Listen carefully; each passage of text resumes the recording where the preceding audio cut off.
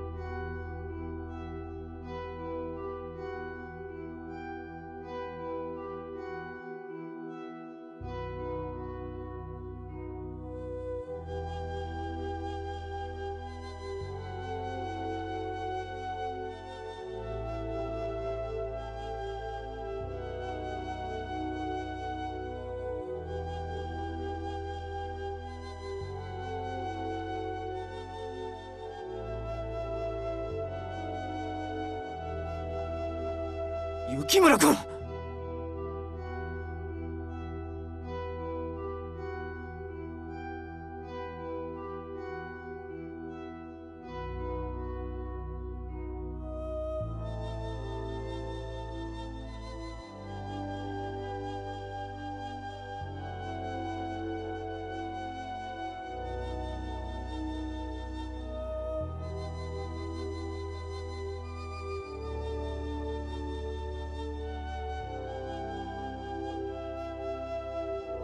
俺のことはどうだっていい。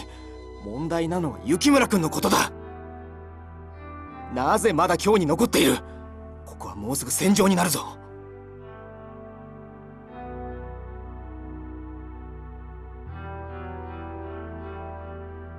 君は近藤局長や沖田さんについて大阪に行ったとばかり思っていた。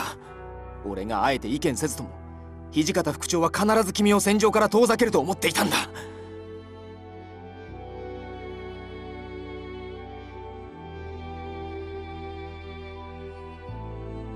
今の副長には雪村君を気にする余裕がないのかもしれないな。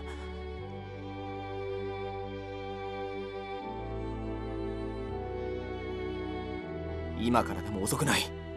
君は近藤局長たちの後を追い大阪に向かうべきだと思う。同行に許可が必要なら俺が土方副長に掛け合ってくる。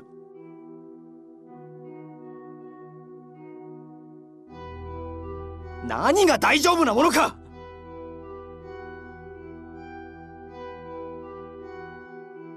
君の事情は知っている。行動さんも見つかっていないし今日に残りたいのは理解できる。君が鬼と呼ばれる者たちに狙われていることも。新選組がその君を守ると決めたことも分かっている。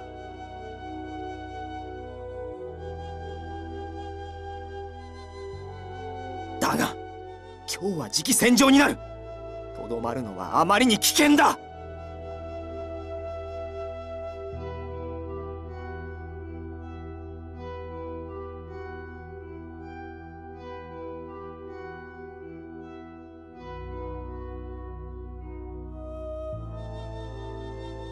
まず間違いないだろう。体内にも楽観視している者はいるかもしれないが。例えば薩摩藩陣営はこの伏見奉行所に対しても大砲を設置し始めている。薩長の軍は士気も高い。数に頼っている旧幕府軍では苦戦を強いられるだろう。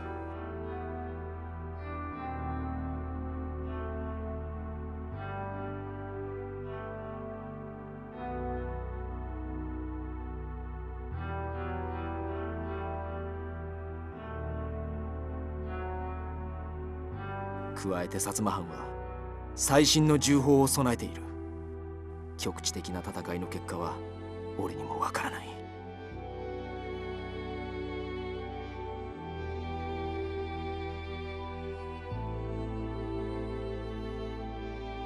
しかし勝つのは我々だろう。動員数では旧幕府側が圧倒的だ。それでも万一ということがある。だから君は大阪行きの準備を。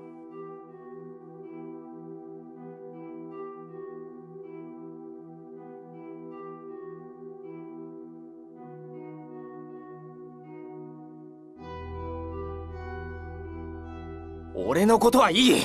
だが君が戦いに巻き込まれる必要はないだろう。俺には新選組のために危険を探るという役目がある。いざという時は死ぬことで味方に脅威を知らすのも任務の一つだ。そんな顔しないでくれ。俺は観察方についたあの日から命の使い道を決めてきたんだ。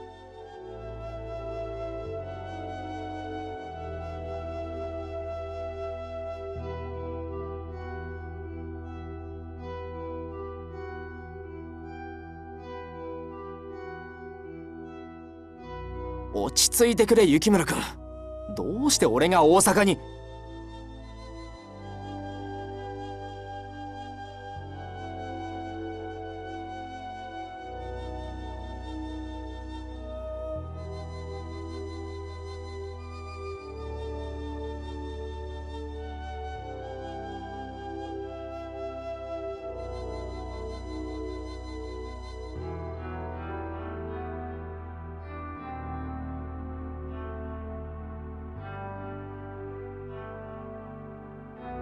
大阪には松本先生が待っている。彼らを見るなら俺以上に適任だ。それでも局長や沖田さんが心配ならなおさら君が向かうべきだと思うが。俺を手伝ってくれた君なら十分な看護を行えるはずだ。それに戦える人間と戦えない人間どちらが残るべきかは明白だろう。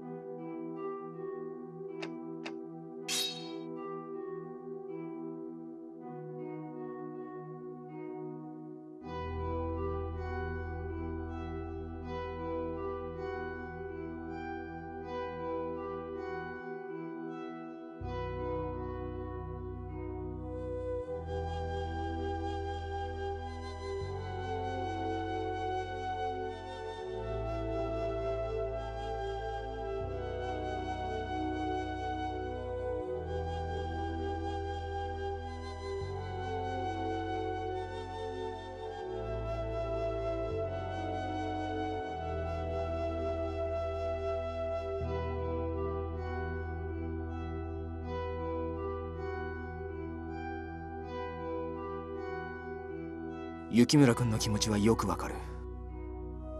俺も仲間が傷つくのは嫌いだ。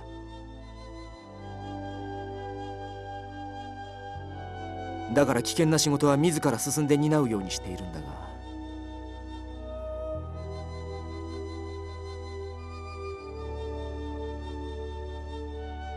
また同じことを頼んでしまうが俺が留守の間はみんなを頼む。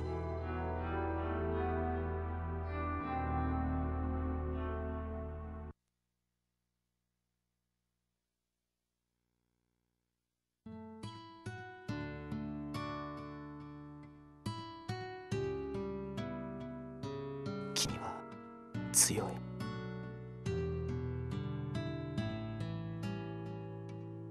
こうまで新選組や大使のことを思ってくれる人は決して多くない。互いを本心から案じるのは多くの死地を共に乗り越えながら背中を預け合った者だけだろう。だというのに今の君には彼らと同じ思いを感じる。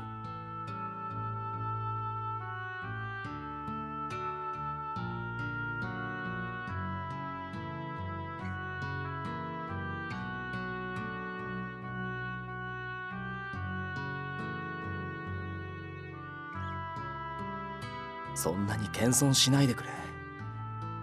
少なくとも俺は同じだと思った。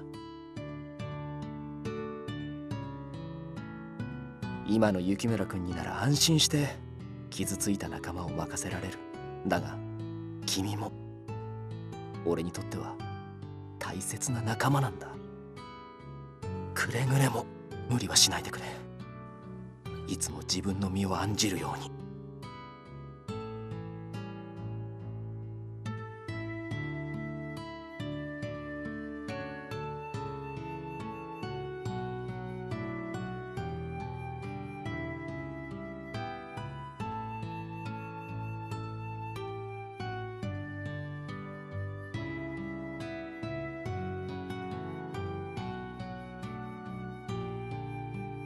俺はこれから土方副長に市中偵察の報告をしてくる。